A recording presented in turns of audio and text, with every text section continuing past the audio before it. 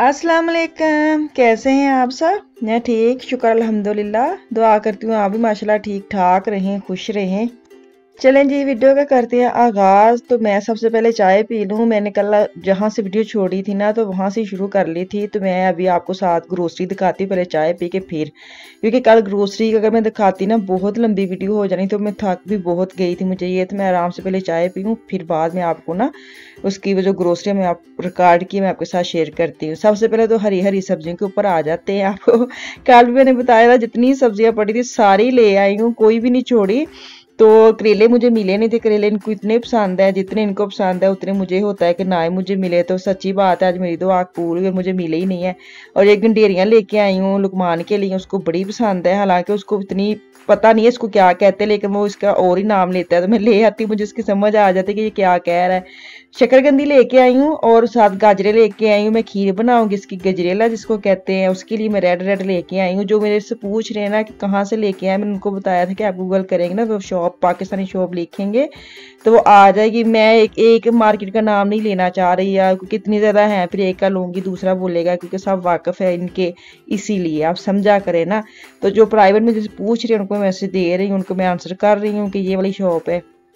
बाकी जो है ना, मैं लेके आई हूँ शकरकंदी। इस दफ़ा मैं शकरकंदी जो है ना, वो मैं माइक्रोवेव में इसको बॉयल करूँगी और मैं आपको दिखाऊँगी मैं कैसे करती हूँ, क्योंकि मैं आलू भी जो है ना, वो मैं माइक्रोवेव में ही गर्म करती हूँ मतलब बॉयल करती हूँ। मुझे ऐसे लगता है, अगर मैं शकरकंदी पानी, पिछली दफ़ा मैंने पानी में ना बॉयल की थी तो ऐसे लगा जैसे इसके अंदर ना पानी पानी रह जाता है। तो इस दफ़ा मैंने सोचा नहीं, जैसे मैं आलू करती हूँ ना, ऐसे ही मैं इसको ना माइक्रोवेव में करके फिर मैं आपको दिखाऊँगी। चलें जी, वापस आ जाते हैं नॉर्मल ग्रोसरी में तो ये मैं जिंजर और जो गार्लिक पेस्ट है ना ये फ़र्स्ट टाइम लेके आई हूँ। नॉर्मल तो हमेशा मैं फ्रेश ही कूट के डालती हूँ। तो ये एमरजेंसी के लिए ना मैं लेके आई हूँ। बाजू का चीज़ ख़त्म हुई होती है तो फिर उसके बगैर गुजारा नहीं है। तो ये फ्रिज में पड़ा रहे तो इतनी देर तो चल ही जाएगी। तो कॉर्नफ्लोर लेके आई हूँ मैं? सूप बनाऊँगी। नॉर्मल तो यहाँ से लेके आए हैं। ये वाले कितने दिन से लेके आए लेकिन मुझे उस पर ट्रस्ट नहीं है। पता नहीं वो सही है, नहीं सही। तो लेके आई हूँ, जलेबियाँ लेके आई हूँ और नमक पारे आफिया को पसंद है, जलेबियाँ मुझे पसंद है। अच्छा चिकन जो है ना, वो मैं ऐसे लेके आती हूँ, वो बना के ना उन्हें फ्री पूरी पूरी एक चिकन जैसी होती है, मुर्गी उसको किलो किलो डेढ़ डेढ़ किलो जितनी भी होती है, उसका वो काट के साफ़ सुथरी करके ना पैकेट बना लेते हैं। तो मुझे ईजी लगता है, मैं आराम से चार पाँच पैकेट ले आती हूँ, जब पकानी हो तो मैं निकाल लेती हूँ। नान लेके आई हूँ, नान ये इसलिए कि आपको पता है जब बंदा वापस आता है ना तो गोश्त या कीमा कोई ऐसी फ्रेश चीज़ होती है, वही बनाते हैं तो फिर नान तो चल ही जाते हैं तो क्यों रोटियाँ पकानी? शक्कर मैं अपने लिए लेके आई हूँ, क्योंकि मैं दही के साथ खाती हूँ, बाकी दालें, शालें, जो भी आपको पता है मैं देख रहे हैं आप तो ये मैं लेके आई हूँ, क्योंकि इनके बगैर गुजारन काफ़ी आपके ना कि मतलब एक दो चीज़ ख़त्म हुई तो फिर चलो बंदा ले, इधर से ले लेते लेकिन देखे मेरे आप नज़र दौड़ाए। आपको समझ आ जाएगी कितना सामान ख़त्म हुआ था। तो गाजर का हलवा लेके आई हूँ। अच्छा है, इतना बुरा भी नहीं है अच्छा टेस्ट है। और ये क्या था क्रीम रोल लेके आई हूँ, रस लेके आई हूँ तीन चार पैकेट लेकर। मैं आपको एक ही दिखा रही हूँ, केक रस दिखा रही हूँ, केक रस भी तीन पैकेट लेके आई हूँ। कुरकुरे लेके आई हूँ। सही मिर्च मसालों वाले दो तीन पैकेट अपने लिए लेके आई हूँ, बच्चे नहीं खाते। तो और मैं क्या लेके आई बाकी छोटे छोटे पैकेट ये मैं ले गई, इसको मैं गरम मसाला पीसूँगी क्योंकि गरम मसाले का बड़ा पैकेट लेके आया ना, जो मिक्स वाला, उसका मुझे ना ट्रस्ट नहीं है। तो ये जो छोटे पैकेट है ना, ये मैं हर किस्म के ना एक ही मकदार में उठा के ले आती हूँ तो फिर मैं, मुझे ईजी लगता है। मैं आराम से सारे इकट्ठे डालूँगी उनको रोस्ट करूँगी उनका मैं गर्म मसाला बना लूँगी। अभी मैंने बनाना है साइड पर रख दी है। बाकी तकरीबन सारी चीज़ें जो है ना, वो मैंने इधर से जब घर से गई थी ना, सुबह उठते मैंने इसकी जगह बना के गई थी।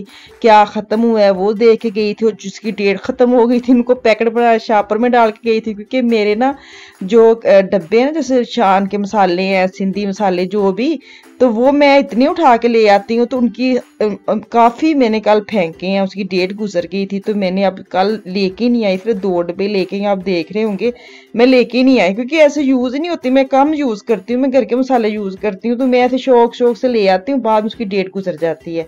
तो कल काफ़ी मैं फेंक फेंक के गई थी। सबसे पहले तो मैंने गोश्त संभाला है, क्योंकि आपको पता है ये बड़ा ज़रूरी है, उधर से भी फ्रिज से निकाल के वो देते हैं तो मुझे ये था पहले इसको मैं संभाल लूँ पैकेट बना के फ्रीज कर लूँ। इनको वॉश करके मैंने सुखाया था, टोकरी में डाल दिया था। अब ड्राई हो गया तो मैंने इनको ना डाल लिया पैकेट बना लिया। और साथ कीमा जो है, वो मैं बनाऊँगी, हांडी बनाऊँगी, इसको मैंने अलग कर लिया कीमा वही है जो गोश्त अगर मैंने लिया है ना तो उसके अंदर से वो निकलता है वो ही मैंने लिया है। वैसे भी कीमा नहीं लेके आई। क्योंकि वहाँ कीमा होता ही नहीं है।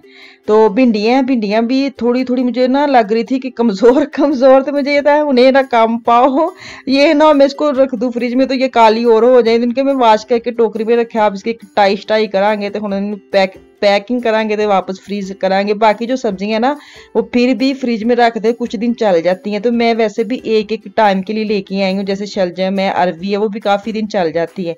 जो चीज़ें ख़राब हो जाती, वो मैं जल्दी से उसको ना संभाल संभूल रही हूँ। अभी मेरे मोंगरे हैं, वो मोंगरे बनाने खाला, जिदा वाड़ा नहीं, सच्ची मोढ़े रह जाते ले आते हैं, लेकिन ये है कि मोंगरे सिर्फ़ मुझे पसंद है। तो मैं अपने लिए लेके आई हूँ, फिर अपने लिए बंदे को करना तो पड़ता है। तो मैंने सोचा, जब कोई अच्छा सा ड्रामा लगेगा ना तो फिर मैं उसको उसको टोकरी में डाल के अपने पास रख के उसको मैं साफ़ करूँगी, क्योंकि वो बड़े मेहनत लेते हैं।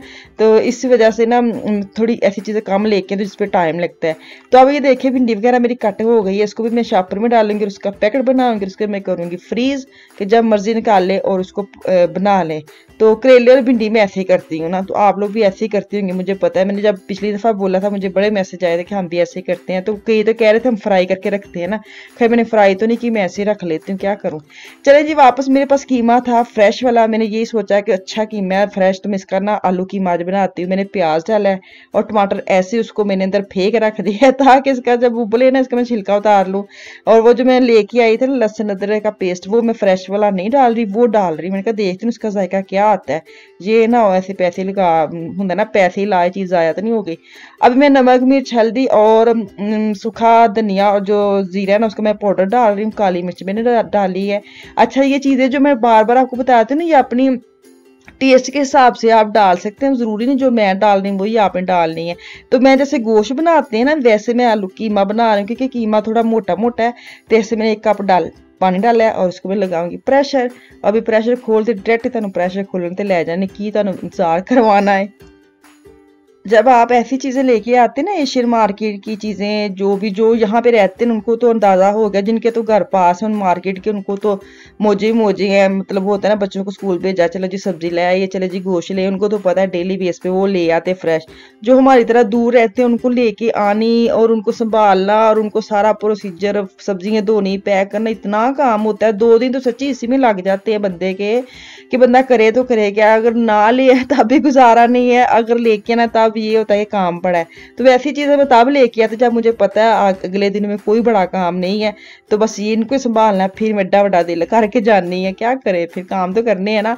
चले जी, मेरा पानी हो गया ड्राई आलू मैंने डाल दिए थे और अब मैं ऑयल डालूँगी डालूँगी और यदि करेंगे, चंगी तरह घुमा घमू के बनाई, क्योंकि बनाई कीमे की गोश्त की बड़ी ज़रूरी है। तो ऐसे चम्मच मार मोड़ के इसको मैं ज़रा अच्छी तरह फेंटा ला के, की मैं करूँगी बनाई। आलू कीमा मैं पहले जब पाकिस्तान से आई थी ना, बहुत बनाती थी। लुकमान को भी बड़ा ही पसंद था और इनको भी बड़ा पसंद था। पता नहीं बीच में क्या हो गया, जैसे होता है ना, लगातार चीज़ बना बना के के दिल चढ़ जाते ऐसे इनका हो गया था। अब काफ़ी देर के बाद मैं बनाती हूँ ताकि ये मज़े से खाएँ। और अब मैं हरी चटनी इसके साथ बनाऊँ, क्योंकि लुकमान को इसके साथ चटनी ज़रूरी बनानी है, वो नहीं खाएगा। आलू कीमा जितनी देर उसके साथ चटनी नहीं होगी तो वो मैं बनाऊँगी। फ्रेश वाली, ख़ास पर वैसे मैंने भी छोटी छोटी हरी मिर्चें जो धनिया काटा ना वो मैंने इसके लिए काटा चटनी के लिए बाद में करूँगी। तो मेरे आलू की माँ हो गया डन मैं नरम नरम रखती हूँ, मैं सूखा सूखा नहीं रखती। तो इसका ना अभी मैं इसको लास्ट जो लुक है ना, अभी आपको दिखाती हूँ। इतना मज़े का बना था सच्ची में साथ प्याज जो मतलब होता है ना, कचरी सलाद, हरी मिर्च, टमाटर और प्याज काटें, साथ चटनी बनाए, कोई कोई जायका और साथ नूर की रोटी।